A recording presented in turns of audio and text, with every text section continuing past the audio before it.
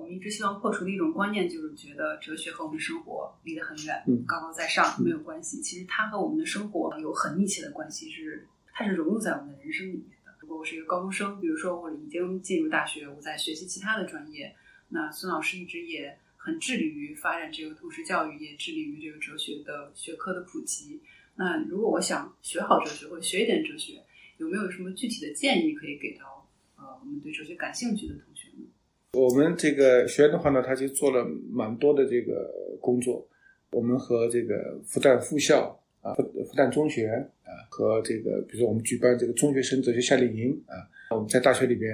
啊，这个通识教育里边有很大的一块是这个哲学的板块啊。复旦的这个哲学院的话呢，还做很多这个关于哲学的这个继续教育啊。我们有什么哲学大会啊、哲学课堂啊，这些就是面对公众的这样的一些啊，很多都是这个公益性的。呃，我们的老师啊，这个其实他的教学、科研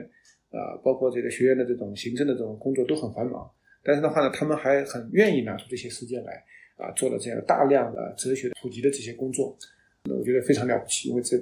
不是很容易的，因为很多人他不愿意拿出这些时间来做这些工作的。其实哲学是非常需要的，就是我们做任何事情，他能够做的比较中正一点的话，他就要有强大的这个反思的能力。但是的话呢，反思这件事情，不是说我我我想反思就反思，就是你干一件事情跟别人比较一下，一看哇，他怎么怎么我我要比他更那，那不叫反思，那那那叫攀比。这个反思它是需要这个训练的，然后呢，它需要有这种基准点啊，那么来这个呃重新来思考我们的生活啊，也就是苏格拉底讲的这个未经这个审视的生活是不值得过的。无论是我们的这个工作啊，无论是我们的这个生活啊，无论是我们的学习。呃，他都要有这种强大的这个反思能力。而哲学的话呢，是建立你这种反思意识最好的一种途径。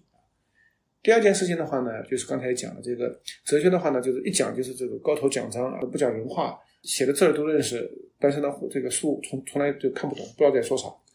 那么这个呢，就是我们进入到哲学的专业，为了进入到这样的一个话语体系呃来做的这些这个工作。那对于一般的同学来讲的话呢，其实现在也还是有很多的，其实包括在国外针对少儿的啊，针对青少年的啊，这些读读本都有。他不给你高头奖章，就是从生活里边啊，从这个你的生活经验里面引领出来。那么但是呢，在大学里边的通识教育啊，比如说复旦的有这个哲学板块，我们那个哲学板块里边的话呢，啊，那个时候还是王东峰老师定的，我也很同意。那你在这个读大学期间，就起码读过一本哲学书。而且的话呢，是那些经典的啊，就都是非哲学专业的，你起码读一本啊，有可能是古希腊的，有可能是中国古代的，也可能是当代的啊。但是的话呢，那个哲学家要足够大，他的这个论题的话呢，也不要太专门化、职业化的这些啊论述，还是比较普泛的这些论题。那么还是刚才那句话，就是让你领略一下这个哲学家他是怎么来思考问题的，他在什么样的层面上来思考问题。呃，他是怎么来推进他的问题的？就是你，你起码你是有第一手的这个经验的啊，你不能说我看了些二手的，看了些启蒙读物啊，觉得很很有意思，最起码看过一本啊，我我还是觉得挺有道理的。那那如果是真正的就对哲学很感兴趣，就要过一种智慧的生活，他就报读了哲学系。那这样专业的同学进行哲学学习的时候，您觉得对他们有什么建议呢？首先的话呢，这个读哲学的话呢，它是一个长线的活儿。就我们就经常是大部分的时候是读的时候很起劲，呃，一一出来之后就就没啥用了啊、呃。就像那个，比如我到有次到政协去做个演讲，有个企业在企业说啊，孙老师你讲的很有道理的。但是我你看我的企业的订单啊，这个企业订单你看 这个完不成了，嗯，就是大概就得加班加点啊，然后怎么样怎么样？你你说你这种东西都是废话，对，你这些东西对我企业有订单也没用啊。但是的话呢，就是我们很多思考问题啊。它有层面的嘛，就是你的问题就不由我来负责来管。就刚才讲了，哲学家是以人类为这个基本单位来思考问题的。你那个企业的这个事儿，当然他们管理的，他他有很多微观的这样的一些管理的这个技巧，可以来推进这些工作，但它都不属于呃一个哲学的思考的范围。哲学的话呢，它思考层面嘛又高啊，面对的人群呢又普泛，呃，思考的问题的话呢又长远。但是我们每个人都生活在当下。啊，这个就很糟糕，就你会发现我这没用，这个读得很起劲，但是呢就是没啥用啊。但是的话呢，你如果啊对这个就是纯粹的这种智慧这个生活很感兴趣的话呢，哲学还是很有意思。就是你看我这个其实很没用的，那本科就进复旦啊，八六年，你想想看是多少年了？三十多年了，完了这个就是三十多年了然后这哪都没去过，那这就死磕对不对？这个你说那个，你从人生经验啊，从这个生活的丰富多彩啊，从各方面来讲啊，这个很差的，人家哪都去过，从事过各种专业啊，然后呢，这个人生好精彩啊。呃，我我承认，那确实，而且那个基本上就没离开过这个以复旦为中心的这个方圆一里地，这个最最远就跑到五角场，然后再往南边一点就回家了。那就是你，其实你发现这天地很小的。但是的话呢，你看，包括康德啊，他也没结婚啊，就是他就在一辈子都在那个哥尼斯堡，呃，他也挺乐。就是他为什么乐的话呢？就是你会发现你的那个内在世界，它是无穷无尽的。啊，我今天就滚儿，我就说去希腊，嘚儿我就去罗马了，嘚儿我就去十七世纪的英国了，啊，我就去十九世纪德国了，呃，我就在那个科学这些的领域的，我又跑到这个艺术圈，你会发现我哪都没去，我其实这个一个无限的这个世界都在我的啊头脑中。如果你喜欢这种生活的话呢，就大概就可以来从事这个哲学，这是第一点。第二点的话呢，当然我只是谈我个人的感悟，就大概在四十岁之前吧，就老想哎。怎么我们怎么没怎么自己想法？反正你看啥，你就发现人家都讲过，讲的比你好，讲的比你深啊，讲的比你透彻，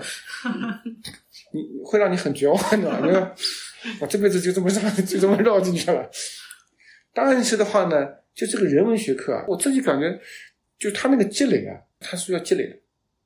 就你像这个，比如你数学你要聪明啊，然后你就是趁着年少脑子好使啊，这个很多就有他的天才就解决了。人文这个很少，就是很少，比如像莱布尼茨啊这种人，呃，挺厉害的。谢林这种人很厉害的，他大概很年轻的时候啊，休谟啊，就是大部分呢啊，这个我我为什么给我一个自我安慰呢？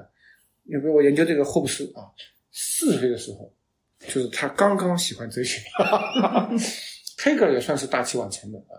这个雷维纳斯的话呢，他都退休了嘛，出了第一本就是这个像模像样的一本哲学书。所以呢，因为我研究的这些哲学家都是所谓的晚成的，所以说呢，给我很大的一个安慰，觉得哎还来得及。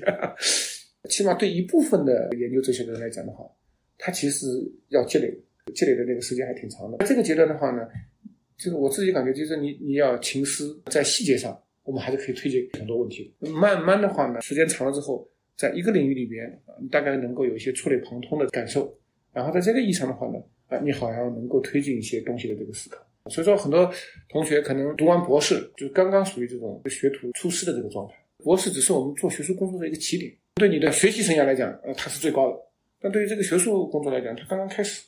但是我们很多朋友都是博士读完之后，感觉已经非常疲惫了。然后学术热情已经浇灭了百分之五十，这个肯定不对。博士毕业之后应该刚刚开始，我我终于明白该怎么做了，刚刚到这个地步。但是我们哲学训练的整个过程里面，肯定也是会有一些很艰苦，因为很难。这些书看上去很枯燥，要把它啃下来是需要一些精力和耐心，需要一些毅力的。那。就是正在攻克这些难题的这个同学们，呃，感受哲学的这个同快乐的同时，感受这些艰苦的这些同学们，孙老师有没有什么鼓励？第一个的话呢，首先是一定要找这个自己感兴趣的问题，就这个很重要。就是你快乐的死磕和你纯粹死磕，那是很不一样的呢。就是说，一定是一件事情是你要在里边感受到乐趣，然后你觉得哎，这里边你你有所得，也没这一点的话呢，你后边这些。付出也没啥价值，就是这个。第二点是话呢，肯定是苦，就尤其写我们这个哲学博士论文，你能把别人思想搞清楚就很不容易了，很可能这个你搞得还不太清楚。搞清楚完了之后，哎，而且还得选择一个就是别人没讲过的一个点儿，这个很难的。就是你得把别人的东西都看过之后，看完之后你觉得很绝望的都讲过了，然后呢，在这个细节上你还能有所推进。比如说我培养学生啊，读个文本。读下来的话，你得给我做笔记你用宋体给我写，就是严格的逻辑的重构，不是说哎，我看完之后你给我做个很简单的一个概括、一个浓缩，一步一步的去把它给重构出来，就像理工科那种实验复现一样。对，然后呢，这里边的话你会看到，如果你想这个问题的话，某些步骤你觉得是应该的，他他没讲，是他漏了呢，还是他作为他的这个预设或者说那个前提，或者他理所当然的啊，还是呢，就是其实这些部分是不太呃遗忘的。就是你只有这么很细密的话，才能构成我和你之间的一个对话，啊，然后呢，我让我的学生的话呢用楷体，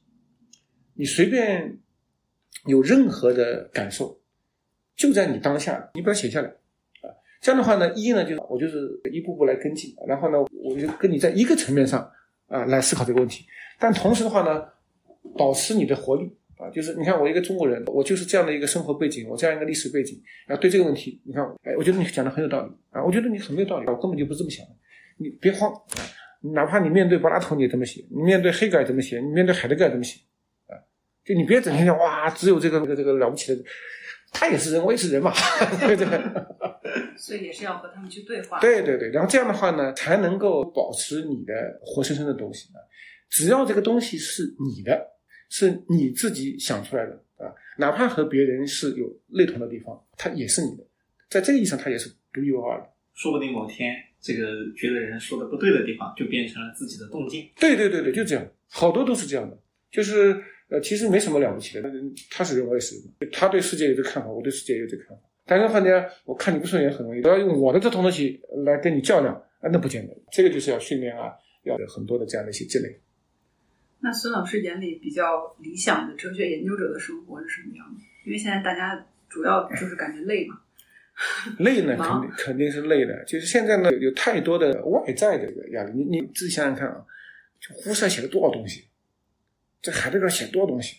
这马克思写多少东西，然后就我们想想看，你做中哲的这个朱熹写多少东西，他肯定多累的呢。然后你想那个王阳明，他写东西不多对吧？但是呢，他干了很多事儿，就是。累的话呢，它是必然。还是那句话，就如果你喜欢，